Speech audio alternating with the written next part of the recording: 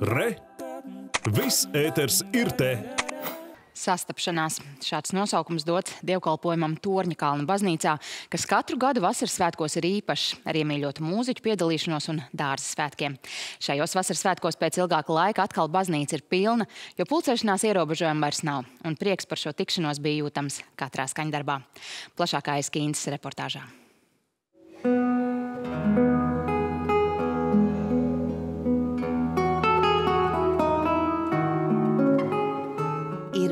Mējas un ir dieva vārds, bet pāri visam mūzika. Citādais dievkalpojums ir Lutera draudzes ilgadēja tradīcija. Es arī apzinos, ka tas, ko es daru, nu, nu, un tas nav tāpat iedots. Man ir jāiet, jāfīrējās, un, un tāpēc man tas ir svarīgi. Un kas par zemītes ir, ir mans čoms, un es nevaru viņam nekādi atteikt.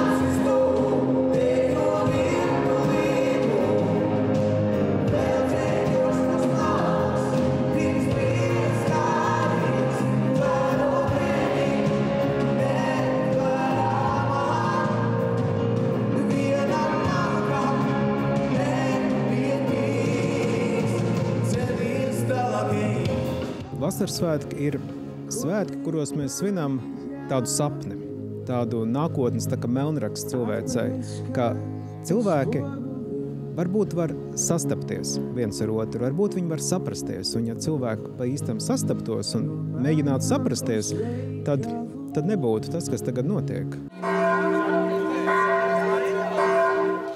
Pēc dievkalpojuma seko dārza svētki. Pie baznīcas iespējams baudīt sastapšanos vienam ar otru un dažādus našķus. Sulas, kafija, protams, kakao. Pankūkas arī ir gačīgās. Un zapt arī. Mūsu draudze, kur šeit tiek, ir kristīti visi mūsu bērni. Vēl mēnesi atpakaļ šis mazais.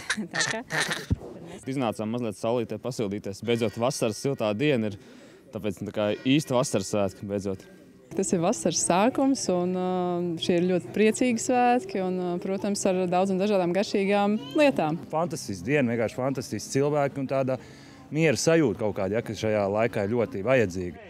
Baigi svarīgi ir, kad uh, mēs visi varam satikties un, uh, un vienkārši pavadīt laiku, nedomājot par lietām, kas varbūt notiek pasaulē, bet vienkārši forši iedzert garšīgas limonādes, uzēst garšīgu ukraiņas boršu un, un būt kopā.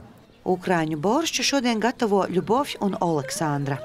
Менталітет також ми хотіли подякувати. Mums ir līdzīga kultūra un mentalitāte. Šādi gribam teikt paldies Latvijai par visu, ko jūs šobrīd darāt Ukraiņu tautai.